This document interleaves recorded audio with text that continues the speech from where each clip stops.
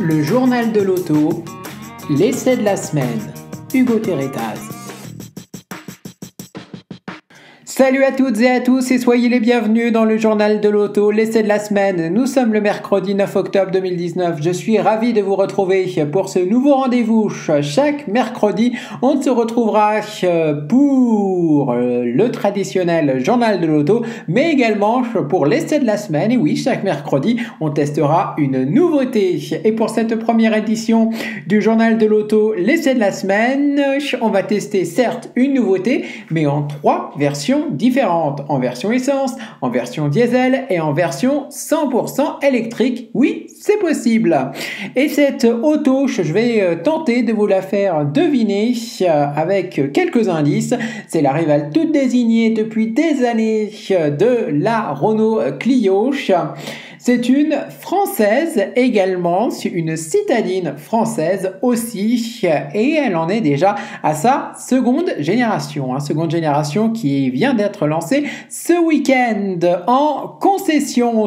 Vous l'aurez compris, c'est la Peugeot 208 qu'on va tester aujourd'hui dans le journal de l'auto, l'essai de la semaine. On va tester donc la 208 essence, diesel et la version 100% électrique nommée i208. Alors, que vaut-elle sur la route. Cette nouvelle 208 Eh bien, on va répondre à cette question en trois temps ce soir. Vous pouvez réagir à l'émission sur les réseaux sociaux en utilisant le hashtag Journal Auto et également le hashtag Journal Auto Essai hein, pour le journal de l'auto, l'essai de la semaine. Et je vous propose maintenant d'ailleurs qu'on ne perde pas plus de temps. On commence tout de suite cette édition du journal de l'auto, l'essai de la semaine, avec euh, la première version de la Peugeot 208 qu'on va tester maintenant. C'est la version essence. Soyez les bienvenus, c'est parti Essai Peugeot 208 PureTech 100 chevaux.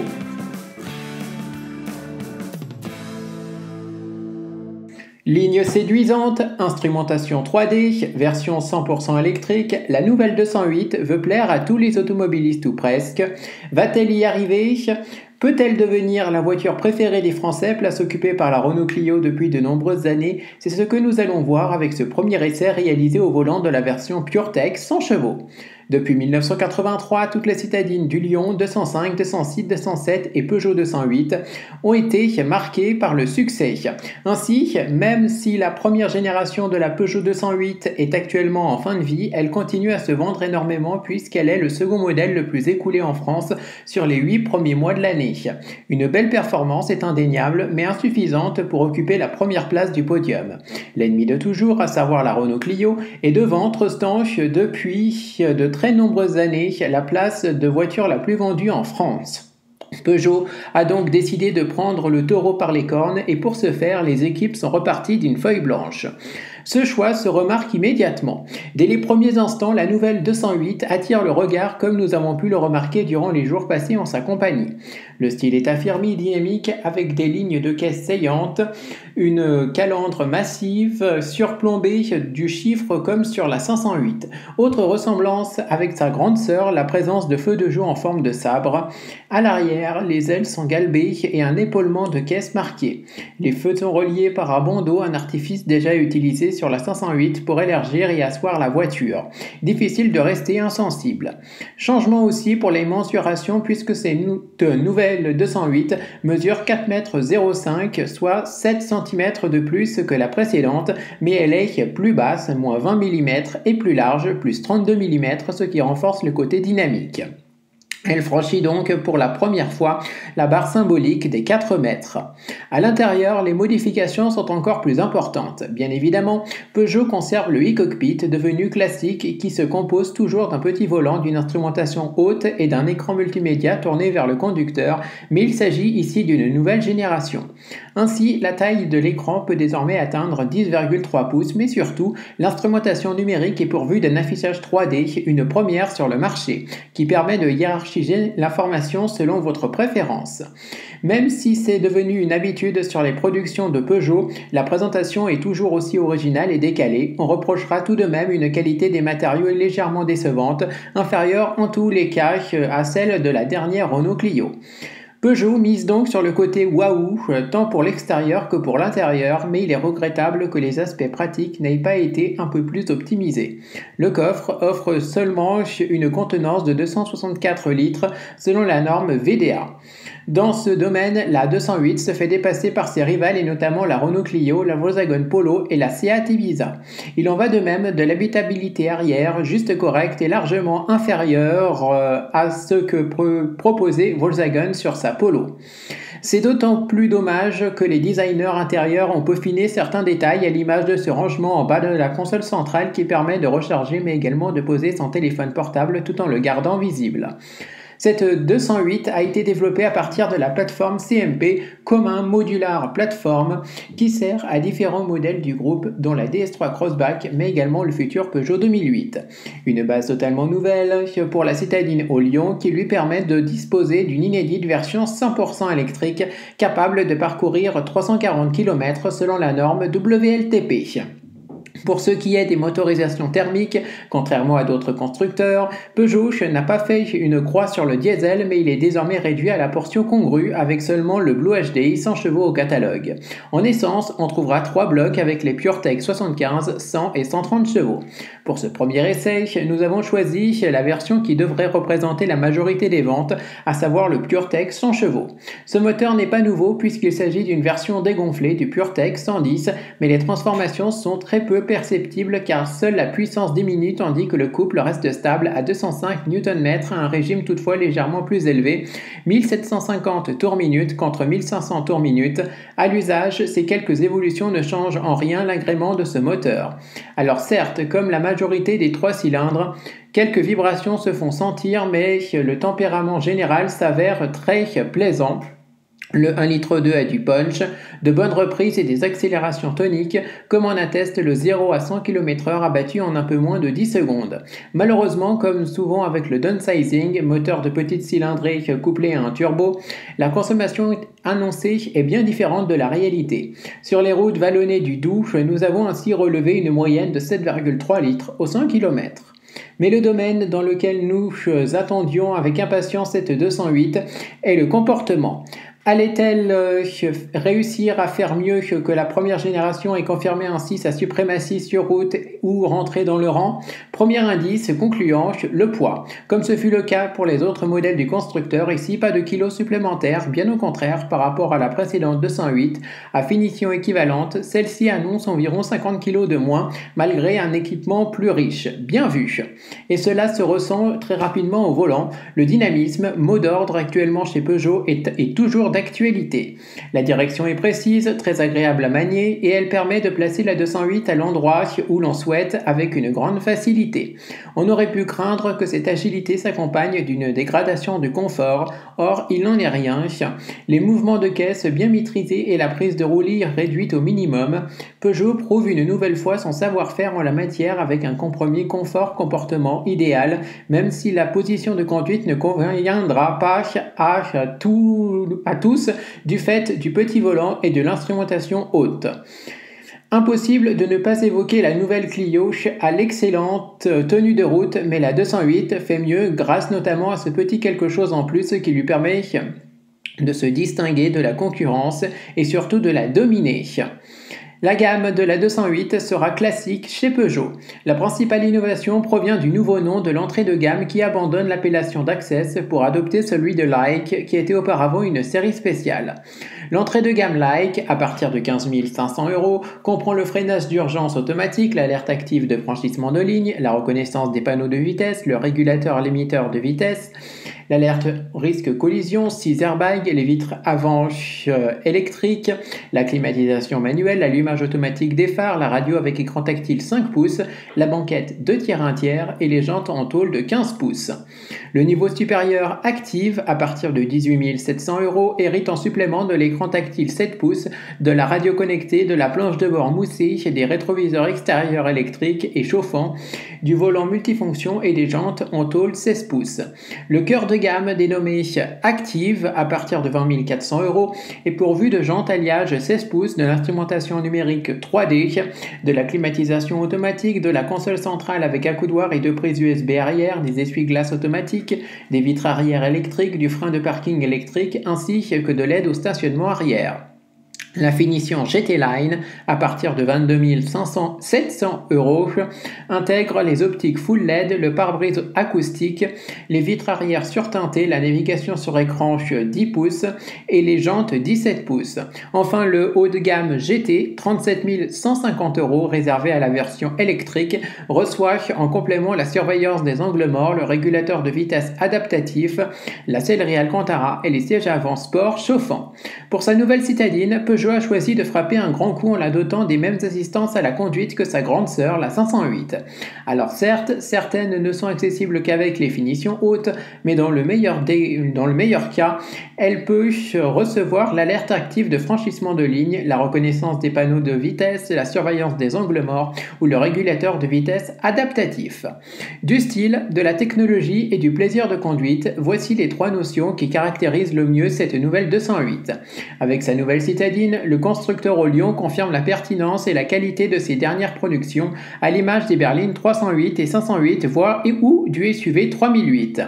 On peut regretter toutefois que les aspects pratiques, volume de chargement et habitabilité ne soient pas meilleurs et que certains matériaux ne soient pas plus valorisants. Une chose est sûre, la firme au Lyon joue à fond le coup de cœur.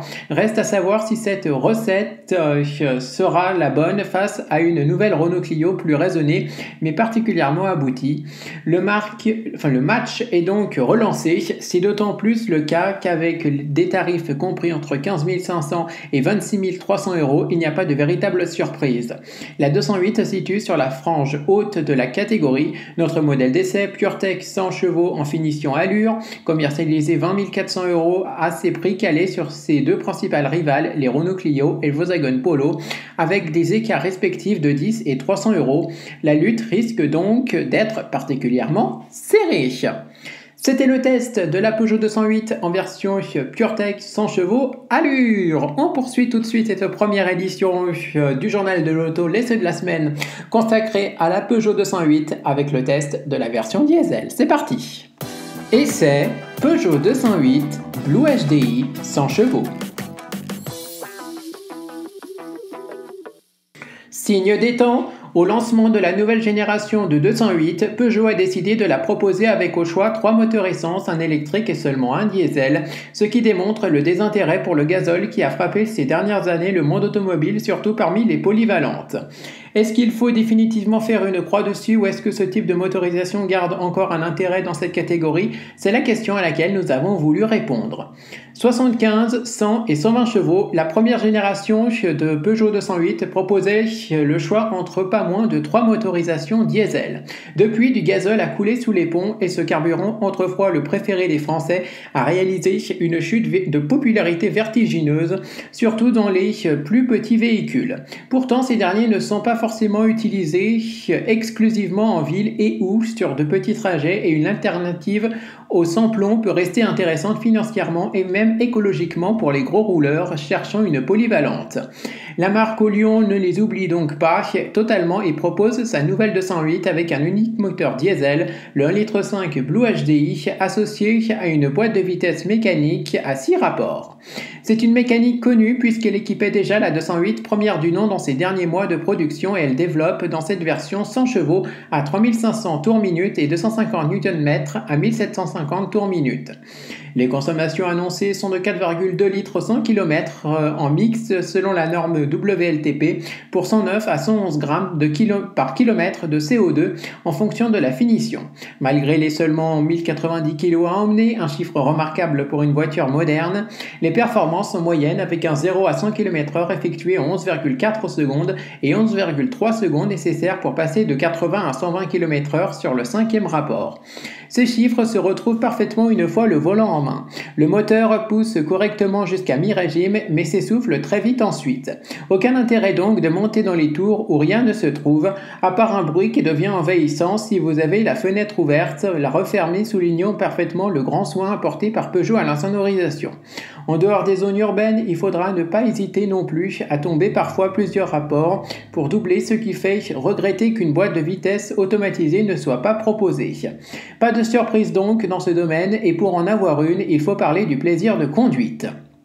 Plaisir vraiment dans une polyvalente diesel de 100 chevaux, oui car cette Peugeot 208, toute motorisation confondue, carburant au samplon, au gazole ou aux électrons, est dotée d'un châssis parfaitement conforme à la réputation prestigieuse de la marque. Le train avant est incisif, l'arrière est léger, la direction est précise et la position de conduite est proche de la perfection pour peu que votre morphologie et vos préférences de réglage vous permettent d'apercevoir l'instrumentation numérique de série au-dessus du petit volant. Tout ceci est donc très ludique euh, sans pour autant avoir à dépasser les limitations de vitesse. Mais ça n'est pas tout puisque si la 208 se montre agile et ludique sur le réseau secondaire, elle se révèle aussi très confortable et silencieuse sur l'autoroute. Une fois la sixième enclenchée, les 130 km/h atteints et le régulateur de vitesse en fonction, la petite Peugeot se montre en compagnon de voyage très convaincant n'ayant rien à envier à de plus gros modèles à part une banquette arrière plus accueillante et un volume de coffre plus grand que les seulement 265 litres offerts. Sa consommation descend alors sous les 5 litres au 100 km de moyenne, les bruits d'air et de roulement sont maîtrisés et le maintien de cap sans défaut. Nous terminerons notre essai mélangeant tout type de route à 4,8 litres au 100 km de moyenne, avec en bonus un 3,8 litres au 100 km atteint sur une petite portion d'éco-conduite poussée sur 60 km. Il reste les tarifs.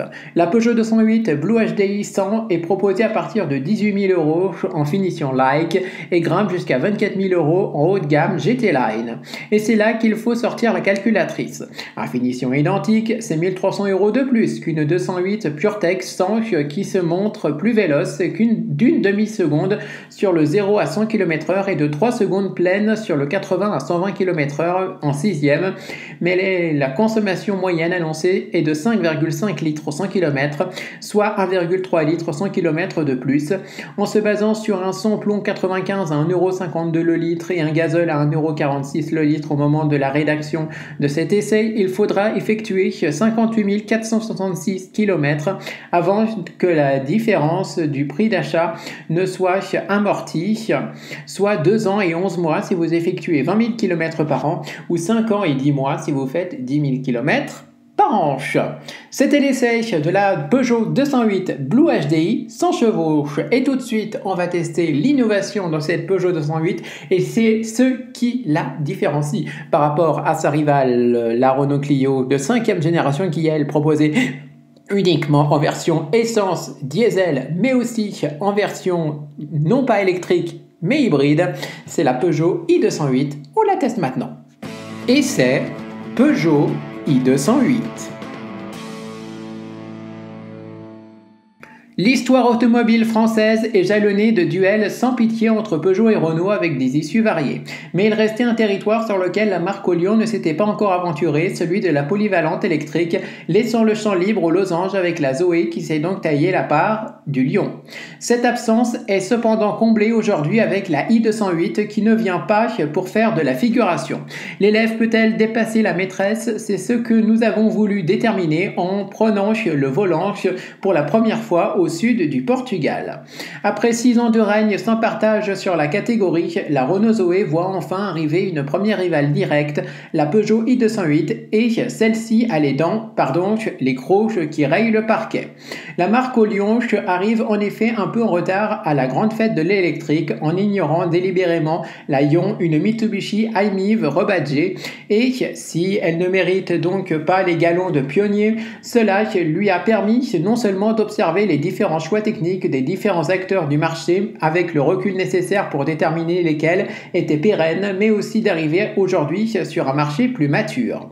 Comme la 208 thermique, la i208 se base euh, sur la plateforme modulaire euh, CMP conçue euh, dès le début pour pouvoir accueillir différents types de motorisation et seuls quelques détails comme les logos, les passages de roues noires sur toutes les finitions et pas seulement en GT Line ou l'absence de sortie d'échappement permettent de la distinguer de ses sœurs carburant au jus de dinosaures.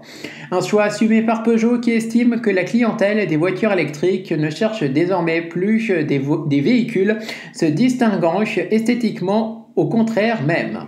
Le constat est identique à l'intérieur. On retrouve la très originale planche de bord avec le petit volant et l'instrumentation numérique de série qui le surmonte, et même le levier de vitesse est le même que celui de la boîte automatique EAT8.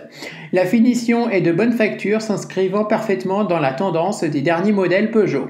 À l'avant, grâce à une assise de siège pouvant se régler au ras du plancher, on dispose d'une belle garde au toit dont profitent aussi les deux adultes qui peuvent prendre place à l'arrière. Pour le coffre, le bilan est moins positif avec seulement 265 litres de volume de chargement à disposition.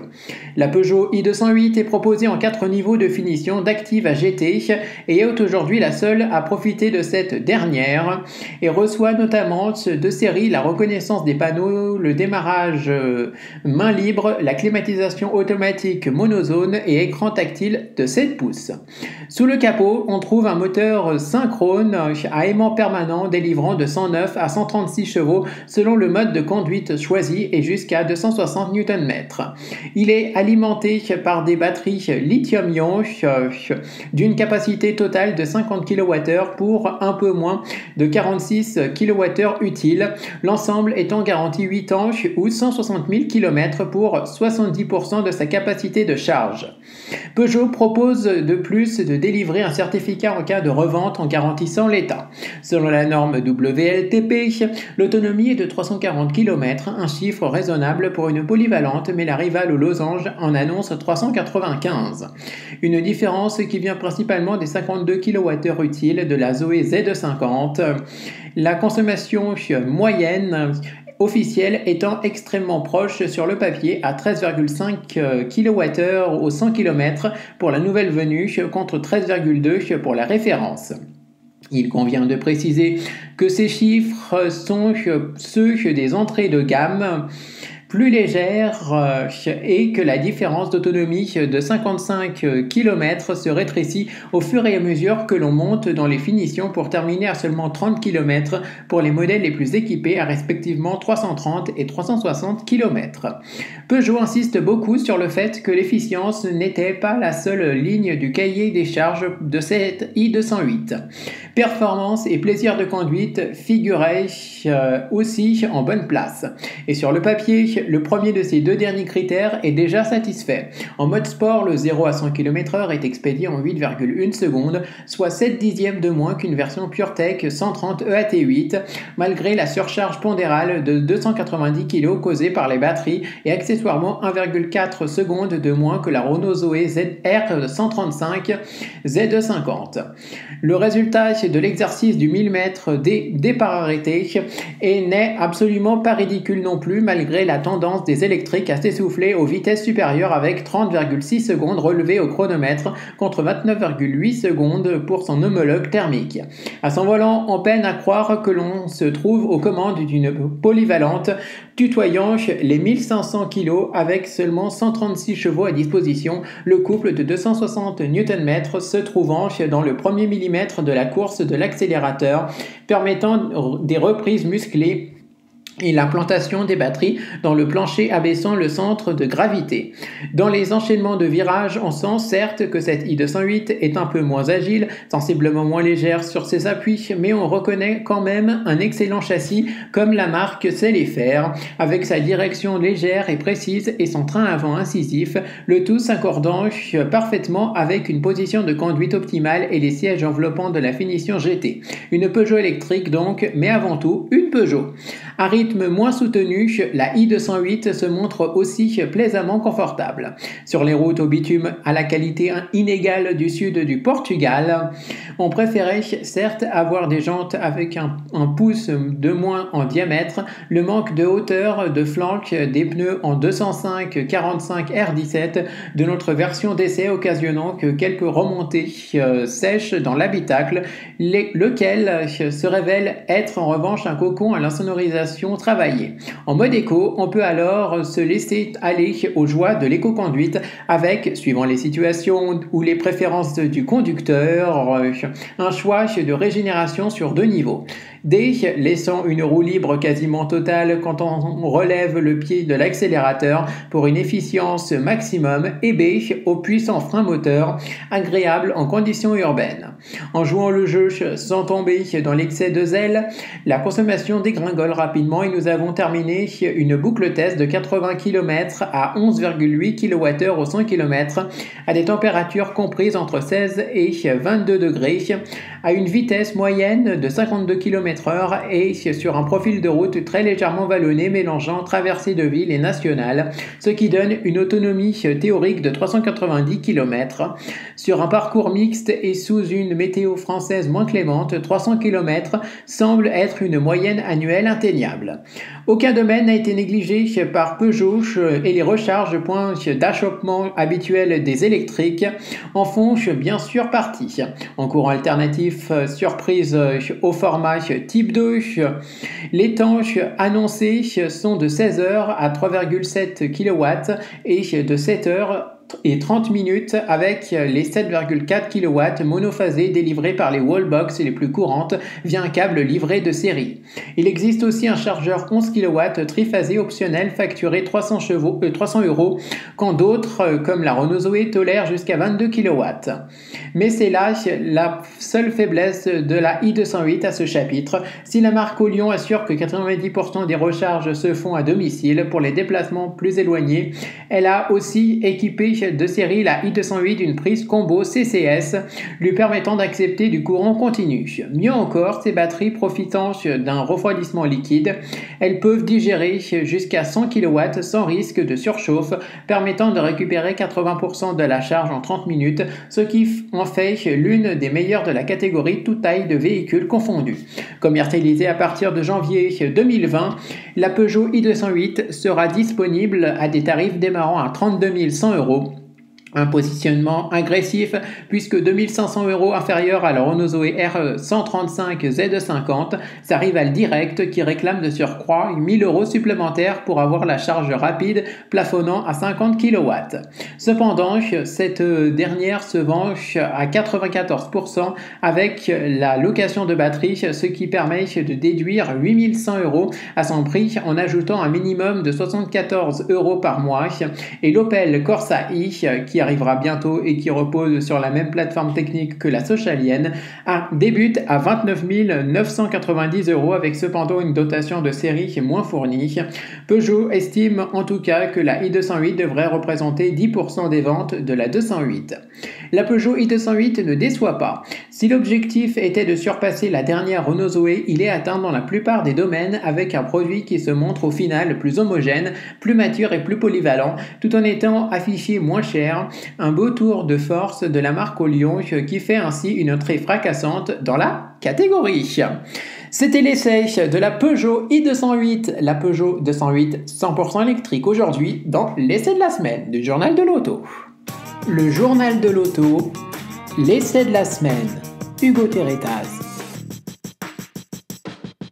Et c'est ainsi que se conclut cette première édition euh, de l'essai de la semaine du journal de l'auto consacré entièrement à la nouvelle Peugeot 208 qu'on vous a testé en version essence, diesel et enfin électrique. Dans les prochaines éditions du journal de l'auto, on vous testera le BMW X1 restylé, on vous testera également la rivale de la Peugeot i208, la nouvelle Renault Zoé restylé Z50. On l'a testé pour vous, ça sera d'ici la fin du mois, mais la semaine prochaine, on testera pour vous le nouveau Kia Kia Exceed, alias le Kia Ceed SUV. On l'a testé pour vous. Notre verdict, notre essai, c'est mercredi prochain. Continuez à commenter l'émission sur les réseaux sociaux en utilisant le hashtag euh, journal auto et également le hashtag journal auto essai pour commenter euh, le journal de l'auto. L'essai de la semaine, nous on se retrouve euh, pas plus tard que demain soir pour un nouveau journal de l'auto et mercredi prochain avec l'essai du Kia Exceed. Et oui, je vous rappelle qu'on se retrouve désormais du lundi au vendredi tous les soirs